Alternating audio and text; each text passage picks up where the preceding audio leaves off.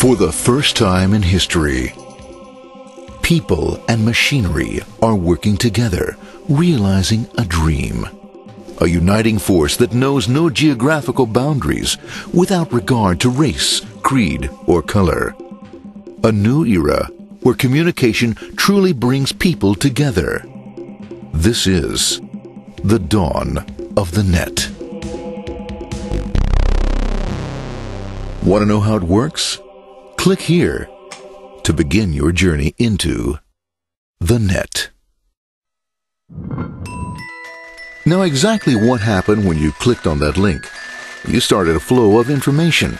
This information travels down into your own personal mailroom where Mr. IP packages it, labels it, and sends it on its way. Each packet is limited in its size. The mailroom must decide how to divide the information and how to package it. Now the package needs a label containing important information such as sender's address, receiver's address, and the type of packet it is.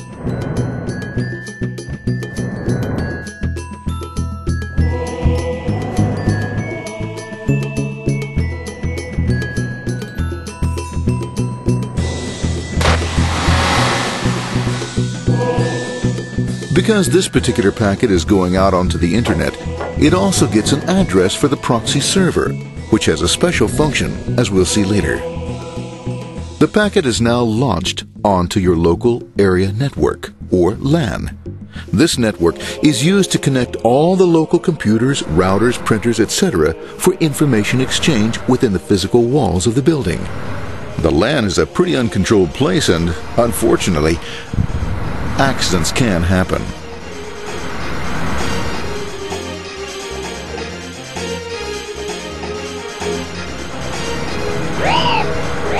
The highway of the LAN is packed with all types of information. These are IP packets, Novell packets, Apple Talk packets. They're going against traffic, as usual. The local router reads the address and, if necessary, lifts the packet onto another network. Ah, the router, a symbol of control in a seemingly disorganized world.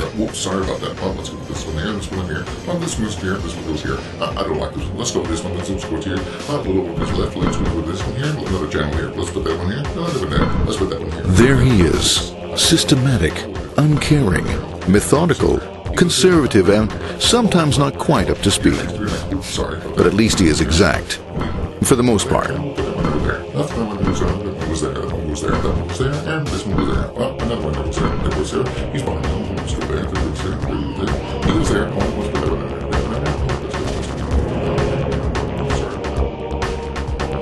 As the packets leave the router, they make their way into the corporate intranet and head for the router switch.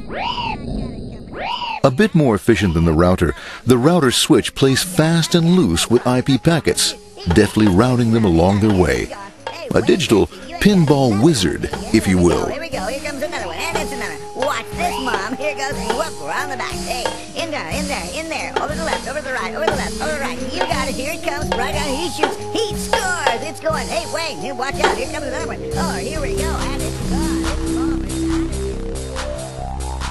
As packets arrive at their destination, they're picked up by the network interface, ready to be sent to the next level.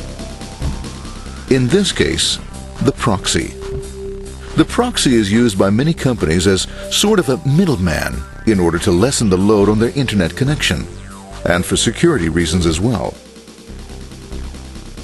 As you can see, the packets are all of various sizes, depending upon their content.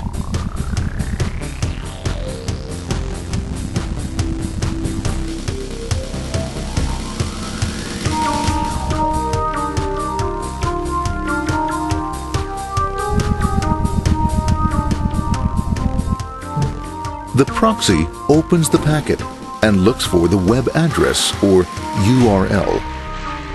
Depending upon whether the address is acceptable, the packet is sent on to the internet.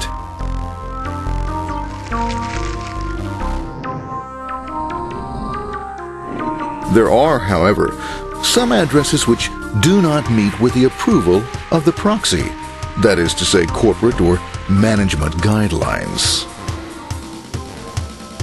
These are summarily dealt with. We'll have none of that. For those who make it, it's on the road again.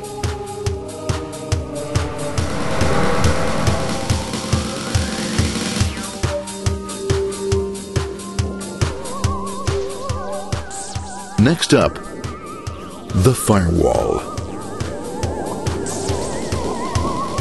The corporate firewall serves two purposes. It prevents some rather nasty things from the internet from coming into the intranet, and it can also prevent sensitive corporate information from being sent out onto the internet. Once through the firewall, a router picks up the packet and places it onto a much narrower road, or bandwidth, as we say.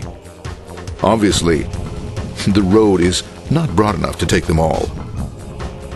Now you might wonder what happens to all those packets which don't make it along the way. Well, when Mr. IP doesn't receive an acknowledgement that a packet has been received in due time, he simply sends a replacement packet. We are now ready to